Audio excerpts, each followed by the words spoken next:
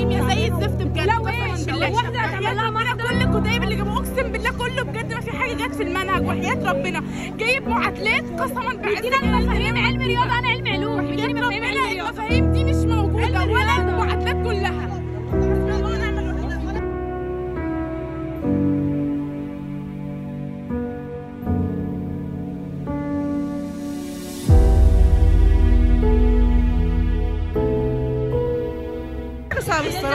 ما كانش في حاجة جاية من المنهج.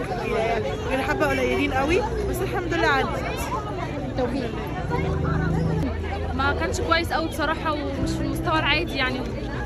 يعني الحمد لله. لا للأسف لا. ولا في الأسئلة المقالي ولا في الكتاب. محتاج وقت وتفكير جامد جدا. فعلا كان صعب قوي. محتاج تفكير. كانش حلو المدرسة اللي كانت واقفه علينا. باقي باقي دقيقتين بقى 10 دقايق بقى الساعة 7 ونص إلا 5 هي كده يعني. 10 ونص ل5 إلا 5 توتر يعني مفيش مجموعتنا كلها ال- اللجنة كلها عماله تعيط. وهي عماله توترنا بزيادة يعني. مش أصول امتحان أصلا.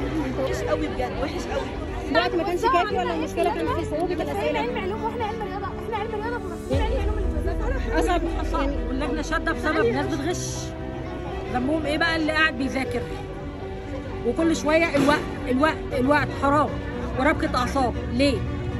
نستفدنا إيه إحنا كده؟